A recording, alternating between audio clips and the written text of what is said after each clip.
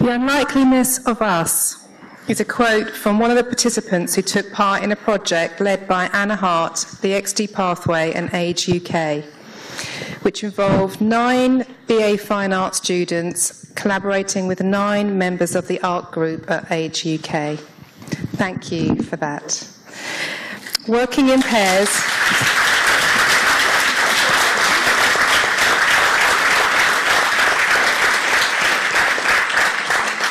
Working in pairs over a period of four months, the challenge was to cross boundaries of age and culture to see what ideas and what work might come out of it. As a pathway, the XD pathway, we are interested in how time is spent, the intimacy of what an encounter might look like, and the potential for new relationships and new meanings to evolve.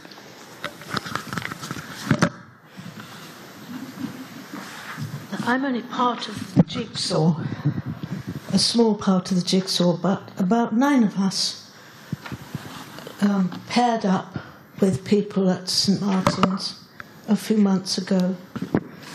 And for a long time, I'd felt as if I'd fallen through the floorboards. I was very incapable of keeping up with technology and so on. And I felt my sell by date had gone. But oh joy, I paired up with Michael. I was very lucky, and we had a wonderful few weeks, really enjoyable.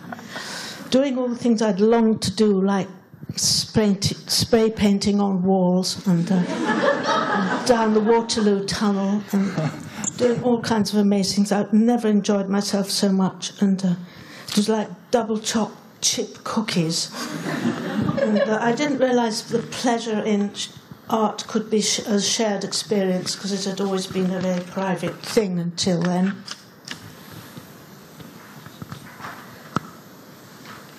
Yes, it's a lovely to share it rather than people just looking at the completed work and shared experiences.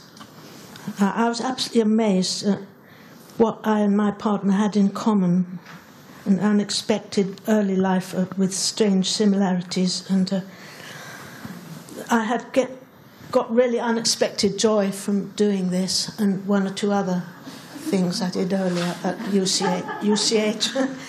and uh, I feel alive and well and far fuller of confidence and happiness. So that's about it. May I hand you over to Michael now? Oh, it's, it's Matthew, actually.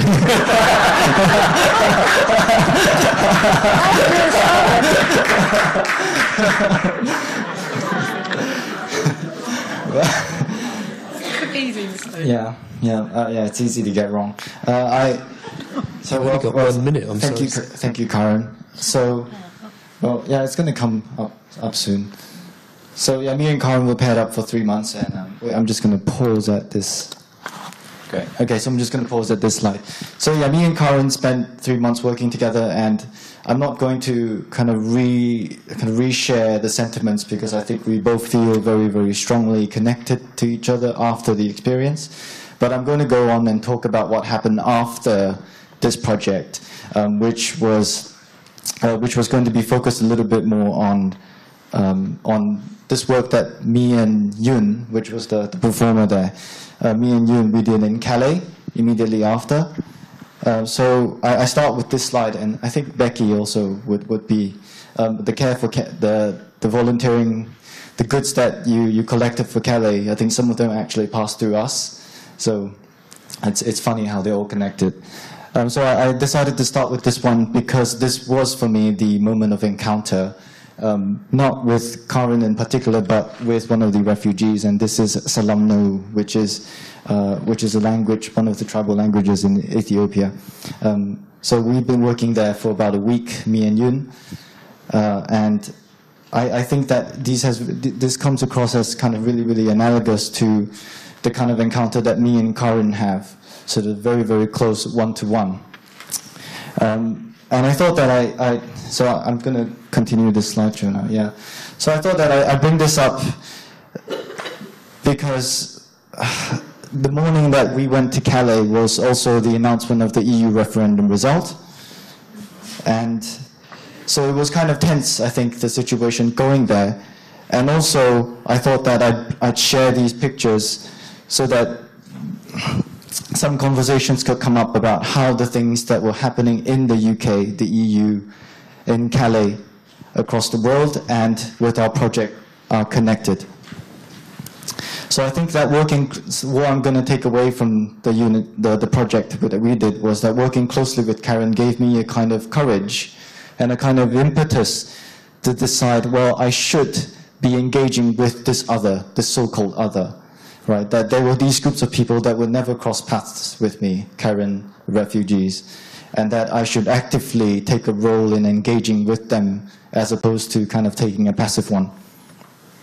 So also the project gave to me a kind of working methodology in that, oh, now it's kind of repeated now, but yeah, it gave me a kind of working methodology in how to engage with the locals there.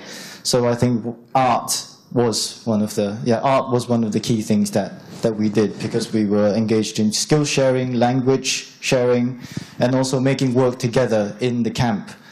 So that, that was that was what we wanted to share with you today. Yeah. Thanks. Yeah. Thank you.